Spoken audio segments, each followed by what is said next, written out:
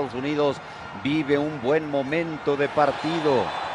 México no pudo aprovechar el arranque del segundo tiempo, falta. Y finalmente aparece tarjeta, tarjeta para Herrera, Paco Gabriel. Sí, sí, empieza a mejorar Estados Unidos. A partir de las fallas de México, empieza a crecer Estados Unidos. Ahí era de roja, era de roja, Pietra.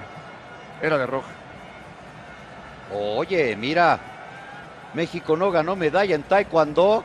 Hubiera ido Herrera y se lleva la de oro. Mira, golpe directo a la cabeza. Esta debe ser revisada y con el perdón, pero Héctor Herrera se tiene que ir con esa acción, ¿eh? Así es.